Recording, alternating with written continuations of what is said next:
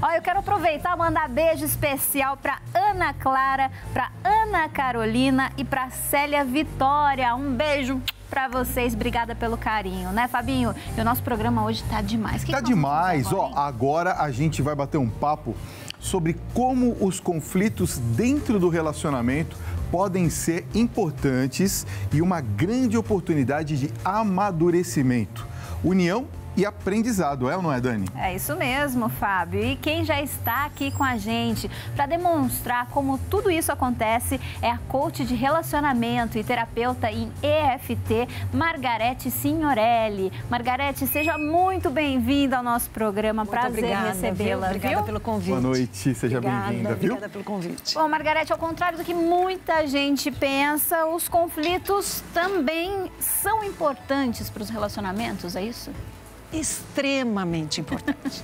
Porque briga é uma coisa, conflito é outra. Uhum. Então a gente tem que entender que o conflito é a forma de eu dizer o que eu estou pensando, o que eu quero, o meu ponto de vista, dizer para o outro de uma forma que eu vou explicar, uma forma positiva, para que eles cheguem a um consenso.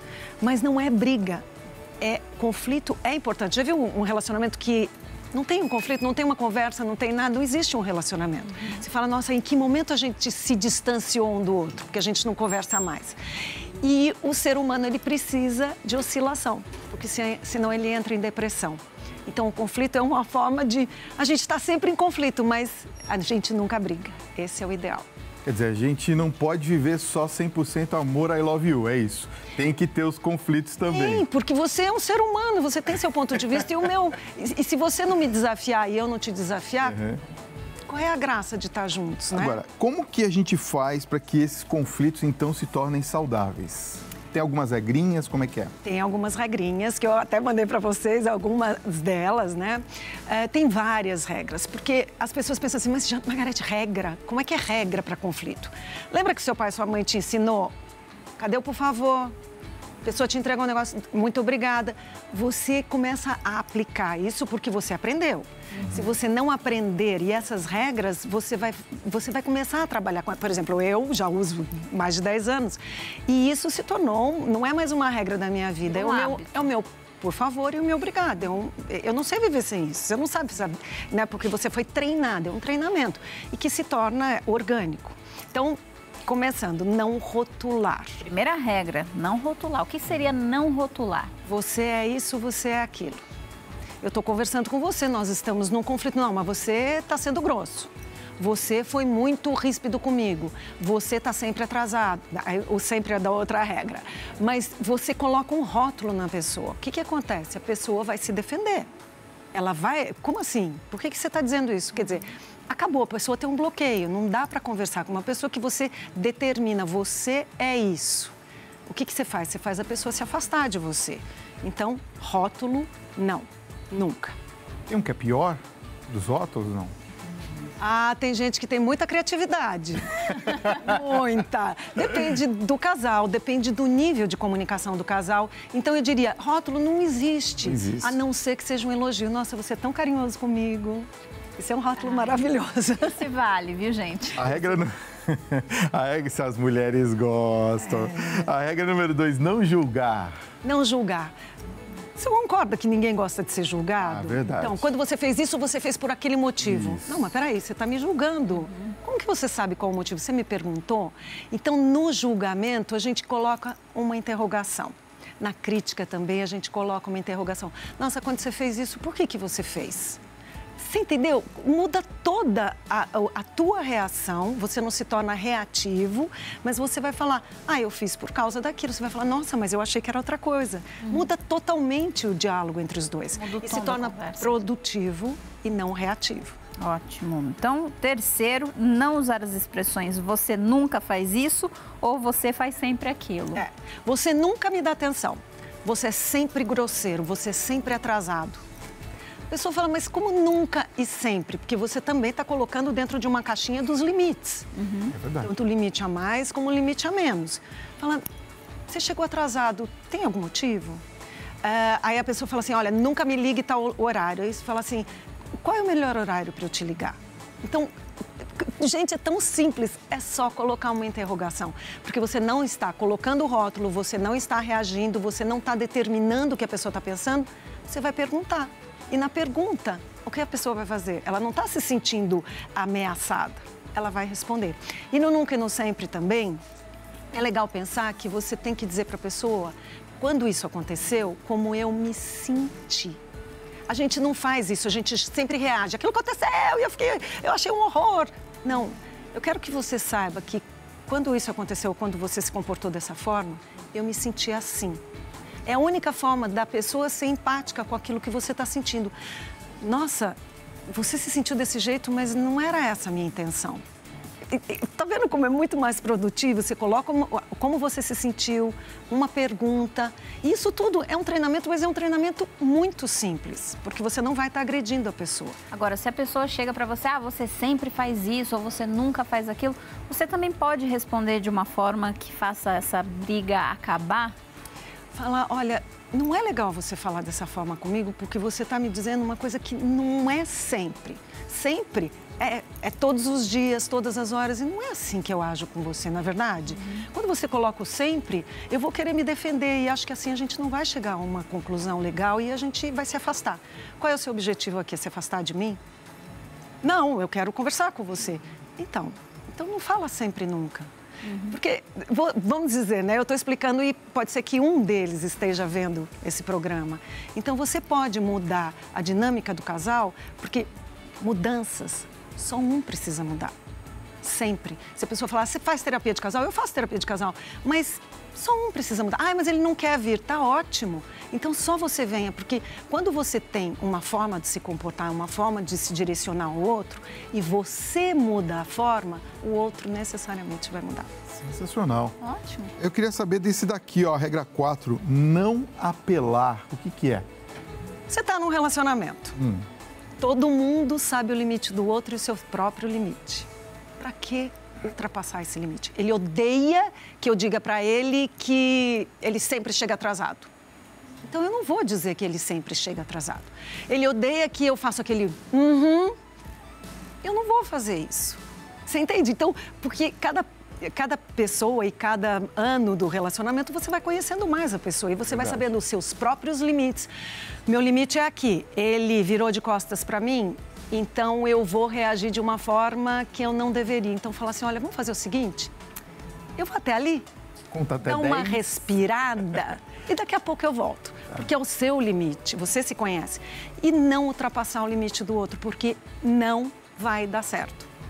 Então, eu, eu acho legal o casal entrar num, num conflito ou tentar sair de um conflito de uma forma de pensar, eh, pensando, não funciona dessa forma. Então, tá, como o americano diz, time out. Dá licença, tá na hora da gente sair, respirar. Uhum. Amanhã a gente conversa. Tem uh, outra regra de durma com isso. Ah, mas nunca dormi uh, quando a gente está brigado? Eu não concordo, porque às vezes quando você dorme, necessariamente vocês acabaram de discutir, está na hora de dormir, nós temos que resolver, vamos ficar até às 5 da manhã, uhum. os dois estressados, acabados.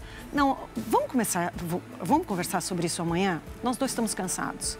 Então não é tipo, nunca durma sem resolver. Não durma sem resolver, porque amanhã vocês estão renovados e provavelmente vocês vão, antes de dormir, pensar um pouquinho. Puxa, eu não podia ter falado Cabeça desse fresca, jeito. né?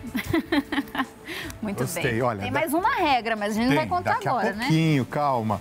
Calma, porque ainda você pode participar do nosso programa. O Tiago vai colocar pra gente aqui o nosso WhatsApp 11 95033 6870. Nosso programa é ao vivo, são 9 horas em pontinho. Manda uma mensagem pra gente, uma pergunta.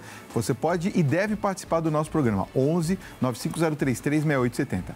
É verdade. Bom, a gente continua falando sobre conflitos saudáveis no relacionamento com a coach de relacionamento e terapeuta em EFT, Margarete Signorelli. Vamos para Tem agora regra número 5. Tchan, tchan, tchan, tchan.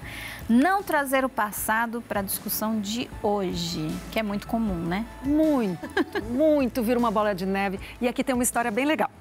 Uh, 1922, Bluma Zirganik, uma russa, psicóloga russa, ela estava em Viena. E aí ela estava num pub e ela estava olhando os garçons. Então ela ficava olhando os garçons, eles vinham tirar uns pedidos e ela olhava e falava: gente, essa mesa é enorme, esse, essa pessoa sai e vai lá dentro, volta, entrega todo o pedido certinho. Aí ela ficou, ela foi lá e falou, escuta aqui, como é que você não esquece? Ele falou, não, é um treino, a gente entrega todo o pedido e aí a gente volta e esquece. Aí ela foi, foi, aí virou o, o como, é, como fala, daqui a pouco eu falo, é que virou Zirganic, tá? Que é o sistema Zirganic. Ela foi estudar o cérebro e viu. Eu estou virando para o relacionamento. Que quando a gente resolve algo, a gente esquece. Então, para o relacionamento é o seguinte: se você resolver um conflito, um problema, você vai esquecer do problema. Se você não resolver o problema, você não vai esquecer do problema. Chama efeito Zirganic, tá? Você não vai esquecer. Então, a gente está aqui, não resolveu o problema lá de trás. Aí a gente está aqui conversando, já faz três anos que aconteceu, mas a gente deixou para trás. Nesses três anos, cada vez que a gente discutir, esse problema vai voltar na minha cabeça. E por mais que eu tente não falar, engolir, não, eu não vou falar de novo sobre aquilo, mas ele não foi resolvido dentro do meu coração, dentro do meu cérebro. Então eu vou continuar remoendo aquilo e, de certa forma, em alguma hora, eu vou trazer para o nosso relacionamento. Então, a minha orientação resolvam os seus problemas passados, presentes, porque senão você vai trazer e não vai resolver nem o do presente, nem o do passado e vai virar aquela bola de neve que vocês nunca conseguem resolver nada. Acaba a discussão, os dois um para um lado, outro para o outro, fica aquela coisa meio remoída, três, quatro, cinco dias passou e continuam não resolvendo. Uhum. Então, efeito Zirganic. Usem isso porque resolvam e daí vocês vão conseguir se relacionar melhor. Agora, existe. É, bom, primeiro queria saber se, se as expressões que nós temos como casais, por exemplo, se elas definem né, a, a, essas situações de estresse que a gente pode dizer aí que são os conflitos. E se existe alguma técnica né, para a gente é, melhorar essa comunicação entre o casal e até evitar futuros conflitos.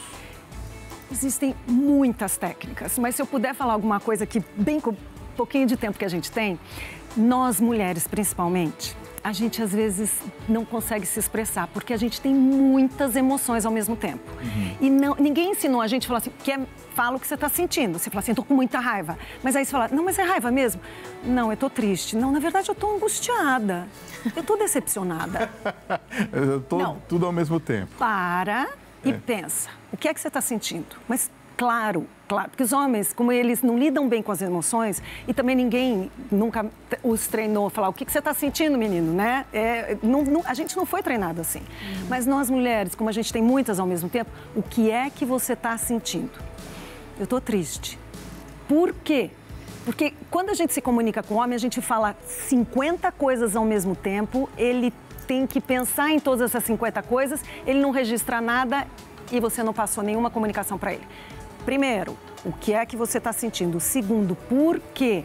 Ah, porque eu não gostei do jeito que ele estava, por exemplo, conversando com uma menina na, na, naquela festa e eu achei meio estranho. Tá, então marque para conversar. Como assim, Margarete, a reunião? Uhum.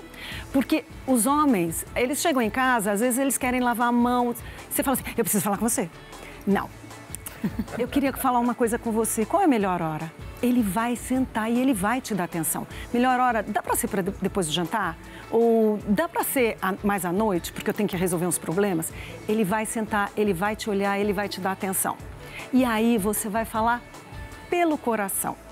Claro, é, você já sabe o que você está sentindo, o porquê ele está na sua frente, você vai falar: aquele dia eu me senti dessa forma, é isso que aconteceu, não é assim, e eu tenho certeza que você estava dando em cima dela. não. Olha o drama aí. Eu, eu senti é. que eu achei que estava acontecendo alguma coisa entre vocês. É verdade? Pergunta. E aí ele vai se explicar. E aí tem a lei do espelhamento, que eu acho que a gente não tem tempo para a lei do espelhamento, rapidinho, tem um pouquinho. Rapidinho. Lei do espelhamento é o seguinte: ele vai dizer, ouça o que ele vai dizer e depois passe para ele aquilo que você disse, peraí, o que eu entendi foi isso, ele vai dizer, não, não é nada disso que eu disse. Então dá para você repetir? Porque muitas vezes a gente devolve para o outro, mas não era nada disso. Ele vai falar, não, mas não foi nada disso que eu disse. Então o espelhamento é, foi isso mesmo que você disse, que você quis dizer? Foi. Ah, então tá legal.